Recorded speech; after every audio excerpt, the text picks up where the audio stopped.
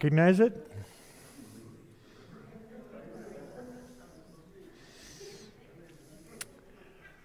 Grace, peace, and mercy from God the Father, Jesus our Lord, and the Holy Spirit, our triune God. Pray with me, please.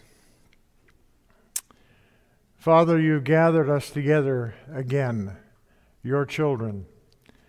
We come with hands lifted to you to lead us and guide us and direct us. Lord, uh, open our hearts and open our minds. Let the words today be pleasing to you. Let them be in our hearts. We come in Jesus' name. Amen. You know, I read this story this past week about deliverance. Winston Churchill found himself at age 25 a prisoner of war in 1899 during the Boer War. Churchill was in a prison camp in uh, Pretoria, South Africa, and he was plotting his escape. He settled on a plan to go over a poorly guarded wall, and he recruited several others to go with him. The night of the escape came, and Churchill was the first one over the wall. He waited for the others, but none came, and no one knows why. But here he was, all alone. So he took off. Well, he made his way to the railroad station and caught a freight train, even though he had no idea where it was headed. He stayed on this train all night long and jumped off the train at dawn and made his way through some high grass and swamplands. The heat and the physical exhaustion finally caught up to him by nightfall. He needed help. As he was resting, someone passed by him in the night and he called out. By God's providence, the other man was also an Englishman who helped Churchill smuggle out of the country. When he returned to his homeland, Churchill was lauded as a hero and, of course, went on to become one of the most successful and influential leaders in the world. Deliverance made all the difference in the world for his future. So, what is deliverance? Well, the Free Dictionary defines deliverance as rescue from bondage or danger. And some of the other words that are related to deliverance are these recovery, life saving, redemption, salvation, reclamation, reformation, salvage, a search and rescue mission. Now, I've never been a prisoner of war, but I sure felt like I was in that movie in a raging river in a canoe, kind of up a creek without a paddle, if you will you know, several heart surgeries and heart related uh, surgeries. Had to trust the medical professionals. But more importantly, I had to trust that God had a better plan for me and He would deliver me even when my thoughts were, oh, I sure hope I make it through this one. Now, I'm quite sure that everyone here today, whether in person or watching us online could relate their own story of deliverance, maybe from drugs or alcohol or pornography or infidelity, whatever that may be. Not just how does the Bible treat deliverance?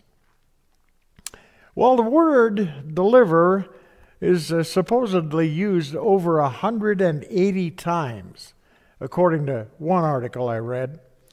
My guess that number is actually quite conservative.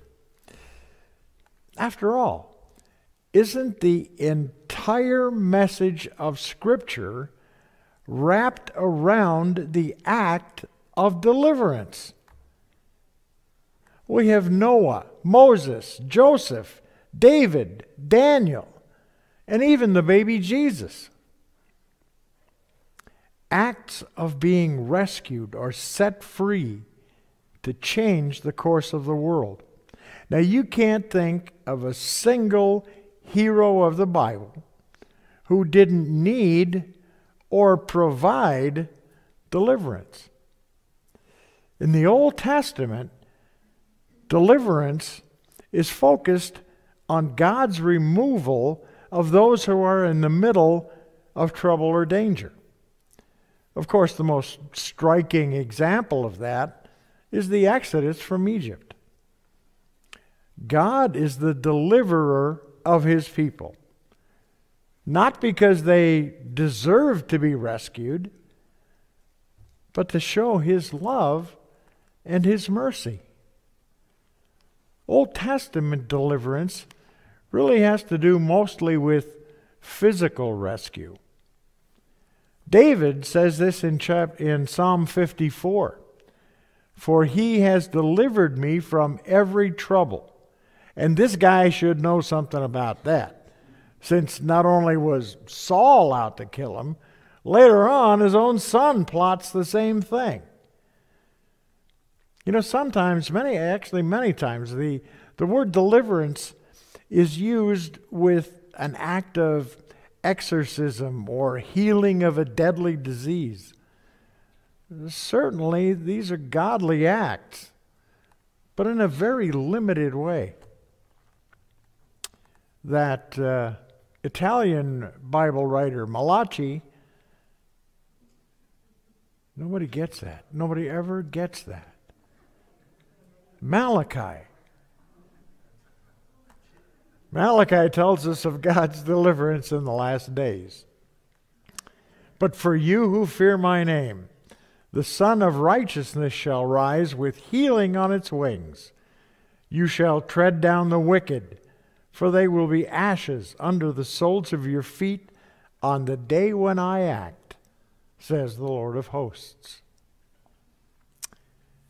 Paul's letter to the church at Thessalonica reassures them that we may be delivered from wicked and evil men.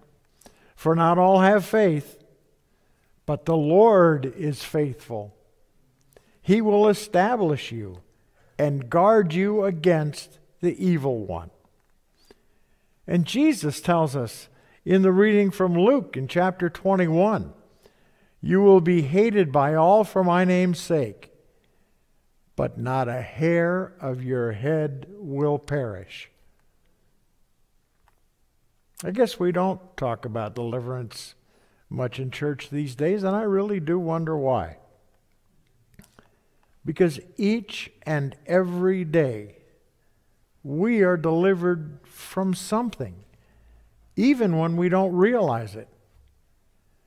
Jesus reaches out his hand to deliver us, every believer, Deliver us from harm and evil.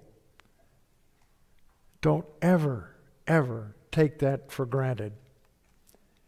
It should be an everyday thing to ask for this deliverance and to thank Him for it.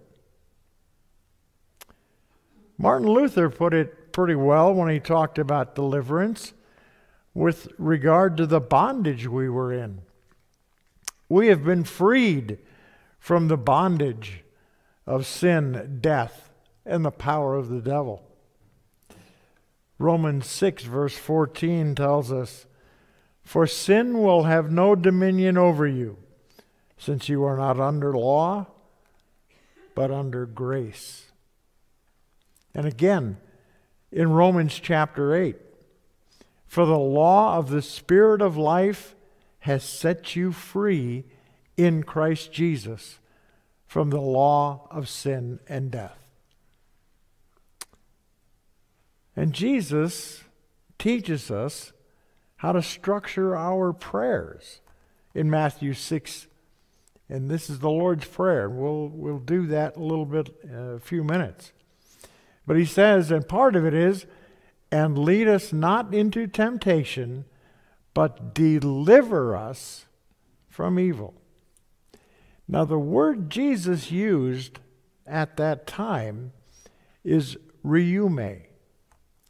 Now, that word, now listen to this closely, that word rhuomai means to pluck or take something out of where it is and pull it to yourself. Exactly what Christ has done. He took us out of our sin and brings us into His holy family.